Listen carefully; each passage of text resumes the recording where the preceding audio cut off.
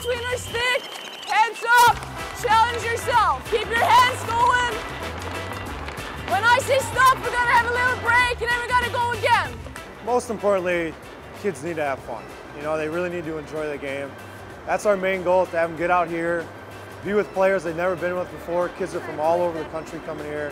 Uh, we're from uh, Salinas area in California. It's relatively uh, inexpensive, um, you know, except for the travel up here. But you get for the price and the coaching, it's the best best bang for your buck. Okay, so the guy along the boards always has the puck. He's always skating, drop pass, go to the net hard. I just remember doing it uh, when I grew up. Just had a blast. Um, you know, I guess from that standpoint, just being around college hockey players, uh, you know, being away from the parents for a weekend wasn't wasn't too bad, and then just hanging out with your buddies playing hockey, nothing better. So, oh, nice save. You all right? Hold up, hold up, hold up. You all right? Where'd that hit you? You're here to have fun. You're here to get better. Here to work.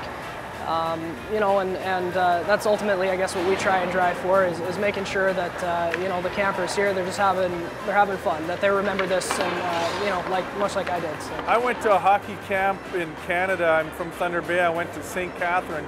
Fred Stanfield, an old Boston Bruin, had a hockey camp there, and I remember going there for a week. I remember him telling us that he was going to tape our, our gloves to our stick if we didn't keep two hands on our stick. And he actually did that to some of the kids. He taped their, their uh, gloves to their stick so they had to keep two hands on their stick. The guy who touches the puck first is trying to protect the puck. The other guy's trying to steal the puck away. You gotta be inside a circle. Inside the circle. Inside the circle. It's a lot of yelling, um, you know, just keeping your voice loud and uh, keeping all eyes on you. Uh, they, they love the sugar here too, so. Quick, Jake, quick, right up. There's so much for them to do around here. I mean, it's not only on ice, it's off ice activities, it's fun and games, it's, it's going to the pool. I mean, there's so many different things that they can experience here. It's, it's incredible. Good job, boys, good job. Ready?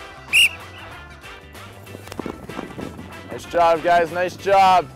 We're also trying to mix it up a bit, you know, teaching them about nutrition, teaching them about how to be a good teammate, teaching them about what to do on and off the ice to become a better hockey player. If I went through this camp, I would be so tired at the end of the day, I would be going to bed at 8 o'clock every night because it's, it's so great for the kids because of all the stuff they get. You know, not only, I mean, you put this facility in it and with, with all the stuff that they do and uh, all the different activities, it's, it's incredible. I mean, I went to camps, yes, but I never ever had a, you know, never had a, a camp like this, like, where kids get to experience stuff like this. All right, back to the line, back to the line.